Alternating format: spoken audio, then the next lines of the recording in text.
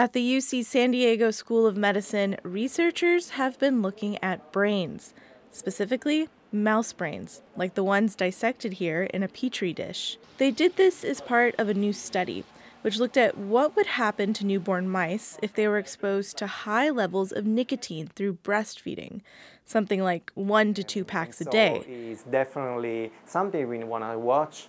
Davide Dulcis, a psychiatry professor here and lead researcher, says when these mice grew up, they developed a taste for the drug. So they were placed in cages where they had two bottles. So one bottle was just water, and the other bottle is a nicotine saline, nicotine solution.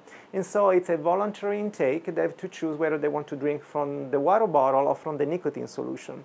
And what we found was that the, one, the mice that were exposed to nicotine early on in the first two weeks of life, they would quickly develop this uh, preference for nicotine solution compared to their siblings that have never been exposed to, to nicotine before.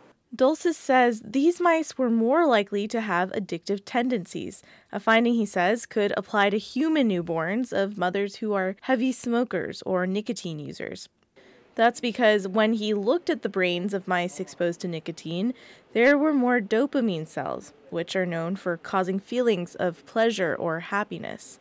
And the brains were creating a type of reward response for nicotine use. So we can actually record uh, in actual neurons when they are exposed to nicotine. So we perfuse nicotine in the brain section and uh, then we see what happens to these neurons and compare what happens in control versus nicotine-treated mice. Dulcis says he thinks this research could help scientists create drugs that could block addictive behaviors in humans, especially in children.